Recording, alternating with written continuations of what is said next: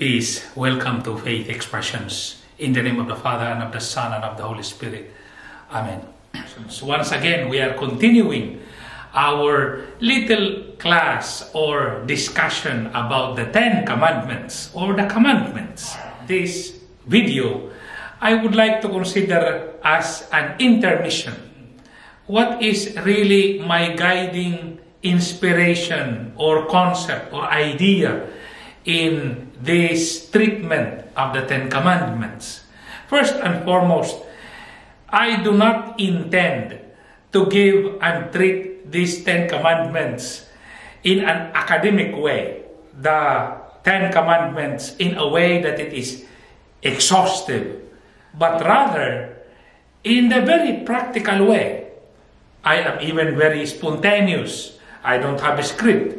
But I have in my mind, like you as adults, I treat and I see the Ten Commandments and each of the commandments with the experiences that I have and with the many experiences of people around me in relation to the commandments.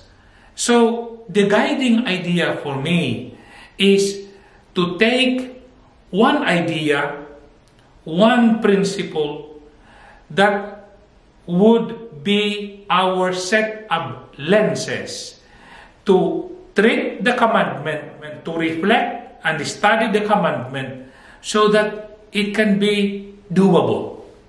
Yes, it is already doable.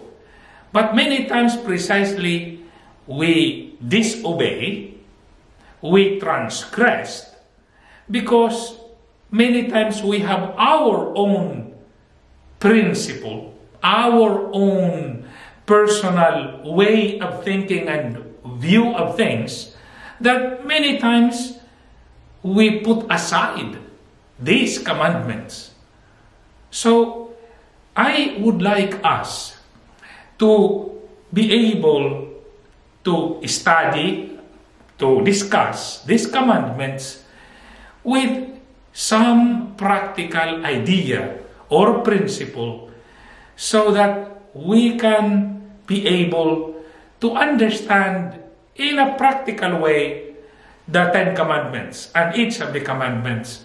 And hopefully, it would be easier for us to do them, to obey God's commands.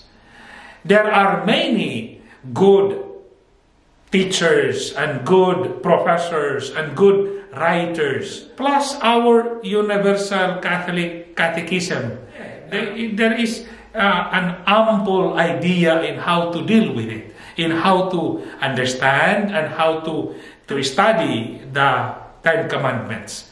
But in these videos that we are doing, it is very practical, it is not in academic, this is spontaneous.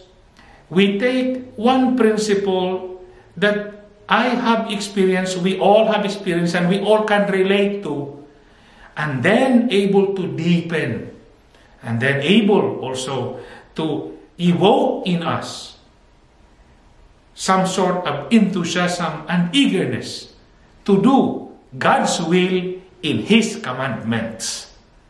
Stay tuned and so continue to follow us in our study of the Ten Commandments. God bless. In the name of the Father, and of the Son, and of the Holy Spirit. Amen.